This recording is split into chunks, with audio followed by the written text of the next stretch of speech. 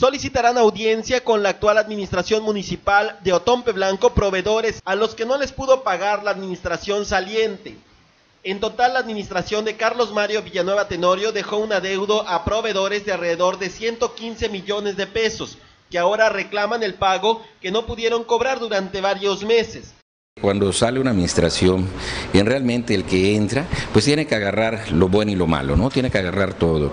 Si le dejan eh, algunos centavos, pues los puede utilizar y en este caso, si no le dejan, pues tiene que, ver de dónde irlo sacando. Y yo pienso que tendremos alguna plática con las diferentes cámaras, porque es en diferentes empresas que se les debe, y yo creo que se podrían llegar a acuerdos donde, aunque sea de una manera poco a poco, ir resolviendo este problema, ¿no?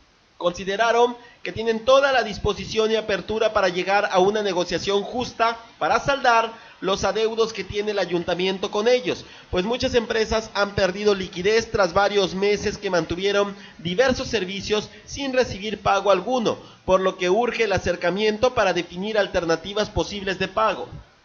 Con imágenes de Javier Cogó para Notivisión, Alberto Echazarreta.